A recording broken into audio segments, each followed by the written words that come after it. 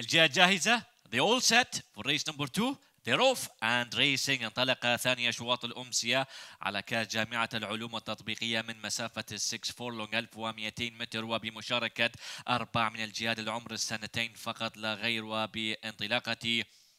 ديكن وورير مع الفارس علي حسين من يقود الشوط من البداية. المركز الثاني يتواجد كاسب المرشح في هذا الشوط مع الفارس نيل كالن بالكاب الأبيض.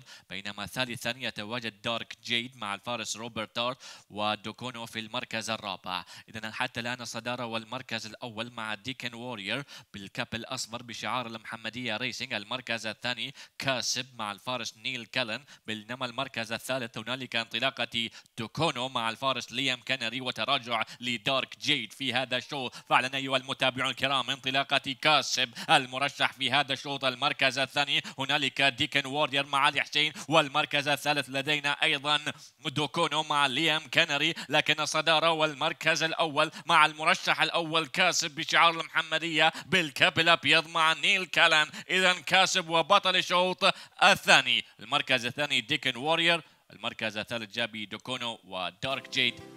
المركز الرابع.